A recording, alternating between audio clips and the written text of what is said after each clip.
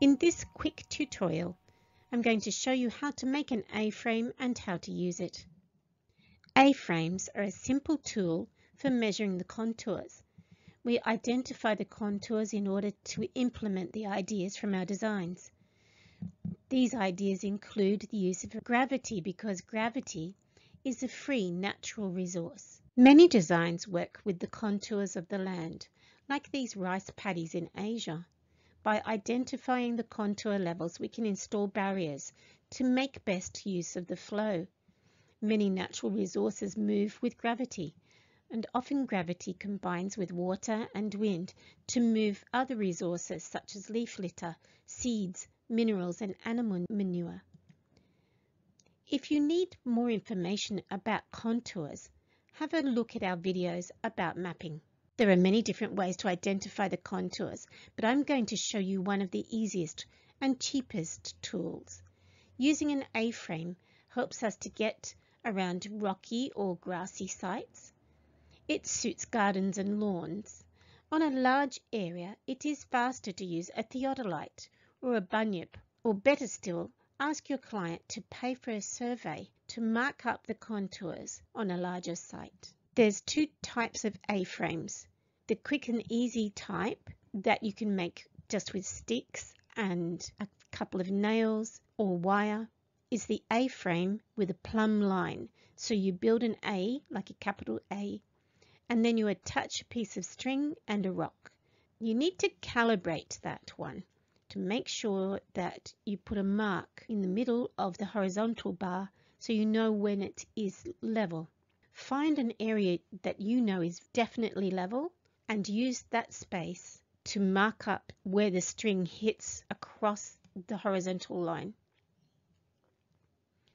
The second type of A-frame just has a spirit level attached to the horizontal bar. Now you can make a spirit level with just a bottle and some coloured water and you attach that bottle to the horizontal line. The bottle doesn't have to be square or cylindrical, it can be odd shaped like a Coca-Cola bottle because you know that the level that you see in the bottle will be level and you compare that to the horizontal. Again, you should calibrate it to make sure the horizontal bar is level. The other disadvantage with the plumb line is it can swing about in the wind. The most important thing about making the A-frame is that it needs to be rigid. It's got to be strong so that the different components, the diagonals and the horizontal bars don't move. They all stay really strongly tied together. We made the mistake, Shane Moon and I, when we made this one by using old stockings and elastic or plastic ties can slip.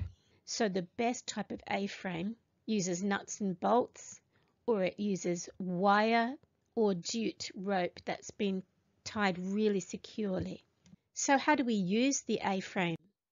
We get that base map, we choose a starting point. Let's say here we're going to use this boulder as our starting point. To use the A-frame, we put one foot securely at the starting point. Then we move the other foot up the slope or down the slope until the horizontal bar is perfectly level. Then we mark where that second foot rested. And once we've marked that, then we secure the second foot and we swing the first foot away and around to find the next point. To get the next point that would be on the level.